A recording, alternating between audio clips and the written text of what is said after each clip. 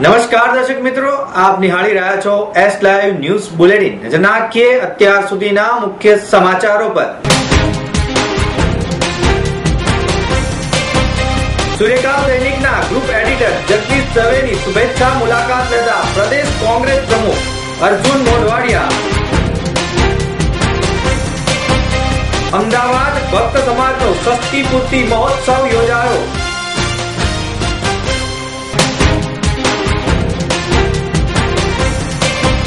શહેરમાં ચાલુ થઈ સ્માર્ટ કેમ્પસની નવી એક સ્કૂલ.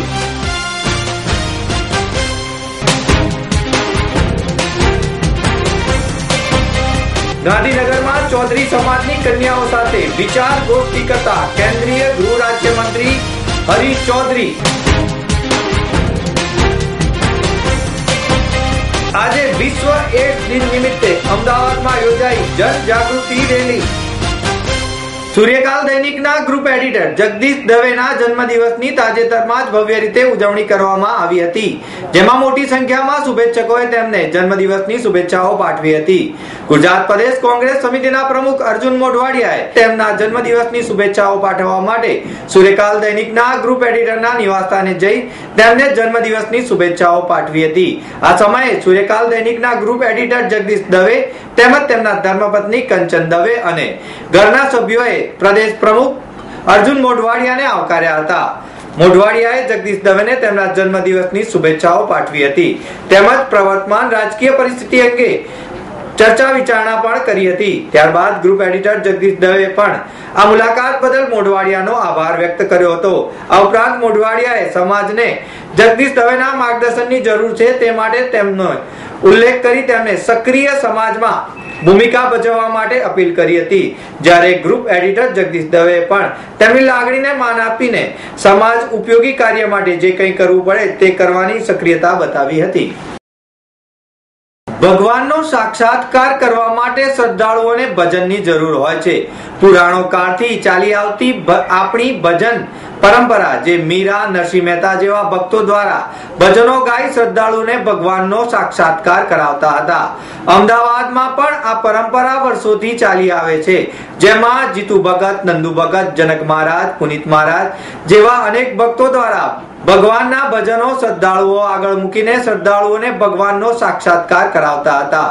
આ સમાજ દ્વારા એક એક સંગઠનની સ્થાપના કરવામાં આવી. આ સમાજ દ્વારા ઓગણીસો ચોપનમાં પરમ પૂજ્ય ગૌભક્ત શંભુ મહારાજના અધ્યક્ષપદે ભક્ત સમાજ અમદાવાદની સ્થાપના કરવામાં આવી, જેને આ વર્ષે સાહીઠ વર્ષ પૂરા પૂરા થયા હતા. જે પ્રસંગે ષષ્ઠી મહોત્સવનું આયોજન કરવામાં આવ્યું હતું. આ મહોત્સવ ગઈકાલે વાડજ ખાતે આવેલા દુધનાથ મહાદેવના હોલમાં યોજાયો હતો, જેનું દીપ પ્રાગટ્ય. પરમ પૂજ્ય કેશવ ભવાની માઈ ભક્ત નડિયાદવાળા, પરમ પૂજ્ય ગૌભક્ત ચૈતન્ય શંભુ મહારાજ તેમજ ભક્ત સમાજના પ્રમુખ, ઉપપ્રમુખ પિયુષ ભગત કોષાધ્યક્ષ જનકભાઈ વાડીગામવાળા સહિતના અન્ય ભક્તો તેમજ શ્રદ્ધાળુઓની ઉપસ્થિતિમાં કરવામાં આવ્યું હતું. આ પ્રસંગે પરમ પૂજ્ય કેશવ ભવાની મહારાજે સૌને આ પરંપરા જાળવી રાખવા બદલ શુભેચ્છાઓ પાઠવી હતી. તેમજ ભગવાનના કાર્યમાં વધુ એકરૂપ થઈ ભજનો દ્વારા શ્રદ્ધાળુઓને ભગવાનનો સાક્ષાત્કાર કરાવવો જોઈએ તેવું પણ જણાવ્યું હતું. ભક્ત સમાજ આજે સાહીઠ વર્ષ પૂરા કરી રહ્યું છે. એની પાછળનો શું હેતુ? ભારતીય સંસ્કૃતિની પરંપરાને જાળવી રાખવા. જે આપણા ભારત દેશની સંસ્કૃતિ, સંતો, ભક્તો દ્વારા જાગૃત થયેલી છે. ભૂતકાળની અંદર પણ કેટલાય ભક્તો થઈ ગયા.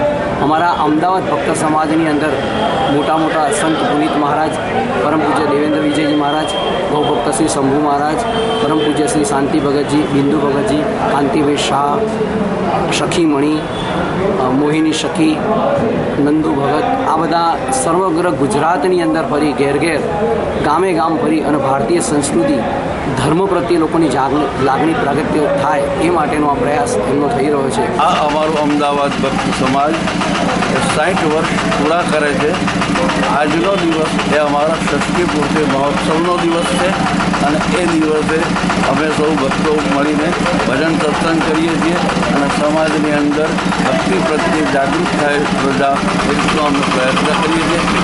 આ ભક્તિ ભજન ગરબા રાસ સત્સંગ મંડળ એ દ્વારા અમદાવાદના ભક્તો બધા સાઠ વર્ષથી અમારા પૂર્વજો પૂરબી મહારાજ મુરબ્બીશ્રી શંભુ મહારાજ મુરબ્બીશ્રી વિષ્ણુ ભગતજી મુરબ્બીશ્રી અમુ ભગતજી મુરબ્બીશ્રી બિંદુ ભગતજી મુરબ્બીશ્રી શાંતિ ભગતજી. આ બધા સાઠ વર્ષથી આ કાર્યક્રમો કરતા આવ્યા છીએ અને કરીએ છીએ. અમદાવાદ ભક્ત સમાજનું એક બીજાંકુર રોપેલું હતું. એ બીજાંકુર આજે અમદાવાદ ભક્ત સમાજનો સાઠ વર્ષ પૂરા કરે છે અને સાઠ વર્ષ પૂરા કરી અને એ રીતે આજે ષષ્ઠી પૂર્તિ મહોત્સવ ઉજવે છે.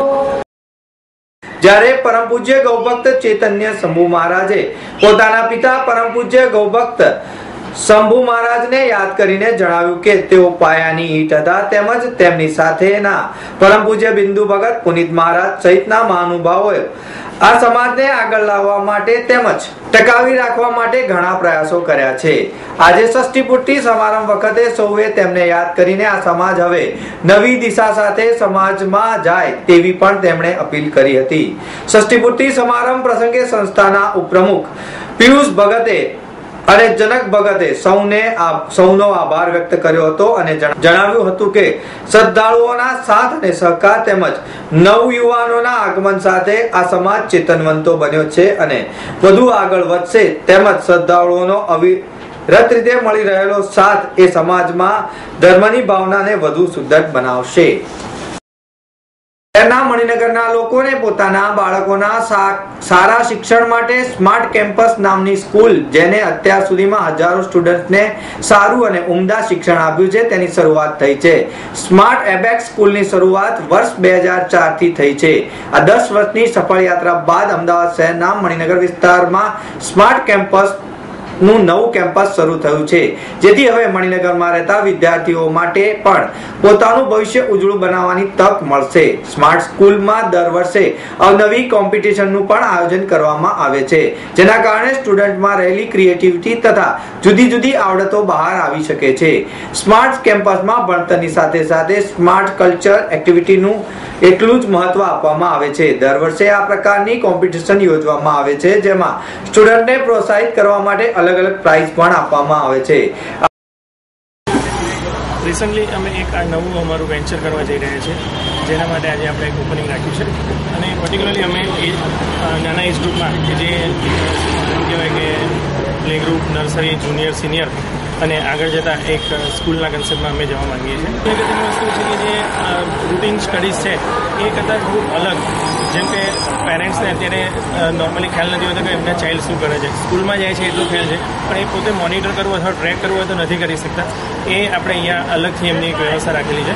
અને એ પેરેન્ટ્સના લોગિંગથી એ પોતે ડે બાય ડે અને મંથલી અને યરલી પ્લાનિંગ કરી અને એમનું અમારા પ્લાનર પ્રમાણે અમે ફોલો કરીએ છીએ કે નહીં, એ પણ સમજી શકે, એ અમારી વિશેષતા છે. અને બાળકો પોતાના જે પણ મતલબ સર્વાંગી વિકાસ માટેનો અભ્યાસક્રમ અમે બનાવ્યો છે, એને ફોલો કરી અને આગળ એ કરશે આ વર્ષે સ્કૂલમાં આઠમી વાર્ષિક કોમ્પિટિશન ત્રેવીસ નવેમ્બરના રોજ યોજાઈ હતી, જેનું ઇનામ વિતરણ ત્રીસ નવેમ્બરના રોજ કરવામાં આવ્યું હતું. સ્કૂલની ઇનોગ્રેશન સેરેમનીના ચીફ ગેસ્ટ તરીકે અમદાવાદ પશ્ચિમના સાંસદ ડોક્ટર કિરીટભાઈ સોલંકીએ હાજરી આપી હતી તથા રિબિન કટ કરી હતી. આ ઉપરાંત સ્કૂલ ઇનોગ્રેશન સેરેમની સમયે સ્કૂલની આ ખાસ ખાસિયતો તથા સ્કૂલના નવા વિચારો વિશે તમામ ખ્યાલ પ્રીતિ શાહે આપ્યો હતો.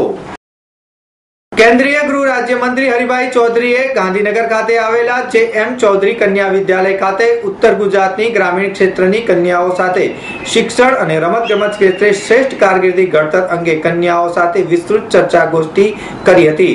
રાષ્ટ્રીય કક્ષાએ વિવિધ રમતોમાં પહોંચેલી કન્યાઓનું રમતગમત ક્ષેત્રે વધુ સારું કોચિંગ અને સાધન સહાયની સુવિધા મળે તો વધુ સારો દેખાવ કરી શકાય તેવી રજૂઆત સંદર્ભે કેન્દ્રીય ગૃહ રાજ્યમંત્રી હરિભાઈ ચૌધરીએ ભારત સરકાર દ્વારા ગુજરાતને વધુ ગ્રાન્ટ મળે તેવા પ્રયાસો કરવા જણાવ્યું હતું. કેન્દ્રીય ગૃહ રાજ્યમંત્રી હરિભાઈ ચૌધરીએ જણાવ્યું કે દેશના વડાપ્રધાન નરેન્દ્ર મોદીએ કાર્યકર્તાઓને ગૃહ ખાતા જેવી મોટી જવાબદારી મને સોંપી છે. દેશમાં ચાર રાજ્યો મહિલા મુખ્યમંત્રીઓની જવાબદારી નિભાવે છે. ત્યારે ધોરણ નવથી બાર ના શિક્ષણમાં વધુ મહેનત કરી મેરિટમાં શ્રેષ્ઠ નંબર મેળવી મહિલાઓ કારકિર્દીનું ઘર, ઘડતર કરે તેવી શુભેચ્છાઓ પણ તેમણે પાઠવી હતી. આ પ્રસંગે ગાંધીનગર જિલ્લા ભાજપના ઉપપ્રમુખ જયેશ ચૌધરી, કોર્પોરેટર શંકર ચૌધરી સ્વાગત કરીને કેન્દ્રીય ગૃહ રાજ્યમંત્રી હરિભાઈ ચૌધરીનો પરિચય આપ્યો હતો. આ પ્રસંગે દૂધસાગર ડેરીના ચેરમેન વિપુલભાઈ ચૌધરી, હરિભાઈ વેલજીભાઈ ચૌધરી, ધારાસભ્ય અમિત ચૌધરી, પત્રકાર દેવેન્દ્ર પટેલ સહિતના અગ્રણીઓ ઉપસ્થિત રહ્યા હતા. પહેલી ડિસેમ્બર એટલે કે વિશ્વ એડ દિવસ સમગ્ર રાજ્યમાં વિશ્વ એડ દિવસની ઉજવણી કરવામાં આવી રહી છે. જેના ભાગરૂપે આજે સવારે અમદાવાદના ઇન્કમટેક્સ સર્કલથી એક જનજાગૃતિ રેલીનું આયોજન કરવામાં આવ્યું હતું. આ રેલીમાં મોટી સંખ્યામાં લોકો જોડાયા હતા અને સમગ્ર રેલીમાં એડ્સ અંગેના બેનરો દર્શાવવામાં આવ્યા હતા, જેમાં એડ્સ વિશે માહિતી આપવામાં આવી હતી.